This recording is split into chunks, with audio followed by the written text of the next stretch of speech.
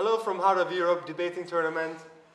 It's a great pleasure to welcome Dan, a judge at the Heart of Europe debating tournament. Dan, tell us something about yourself. Uh, yeah, first of all, thank you. It's my pleasure to be here. Um, uh, like you said, I'm from Montreal. I am a um, coach of my team I see. because actually I just started helping them this year, and they have a real coach who actually knows about debate. Uh, so this has been a great learning experience for me.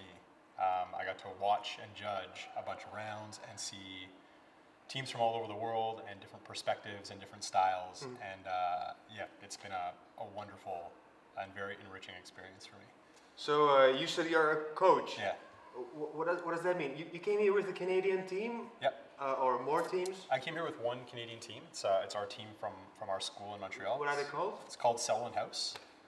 Uh, so they're the team that's uh, Selwyn A. A. Yeah. So they made it to the semi-final. They're in the semifinal. Uh, Very I'm not good. gonna lie, I'm, I'm just I'm just sitting here nervous a little bit thinking about that. But uh, yeah, I say I'm a coach because they have an actual coach at school who has uh, debated himself and um, and he has taught debating for years. And Right. then there's another university student at home who helps out with the team, and she's fantastic as well. And she's given them a lot of advice and support.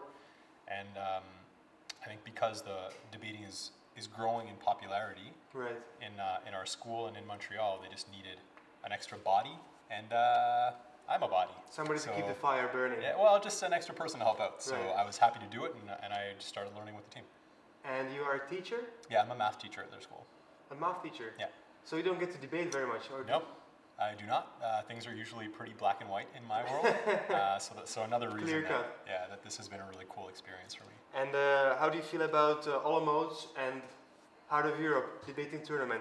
Have you had uh, experience with any other debating tournaments? Uh, we, we've done some little tournaments at home that are usually uh, university tournaments. This is my first international tournament. Uh, Czech Republic has been amazing.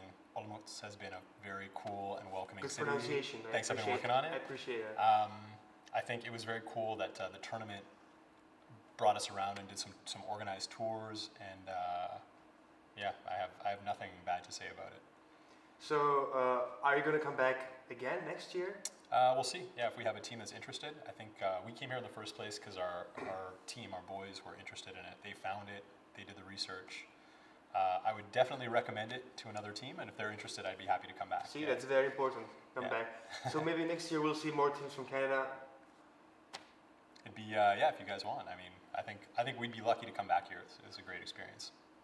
Well, Dan, thank you very much Yeah. for this great interview. It was a pleasure- pleasure to meet you. And I hope to see you next year. Yeah, thanks. And enjoy a couple of days uh, remaining in Olomouc, right? Thank you very much. Cheers.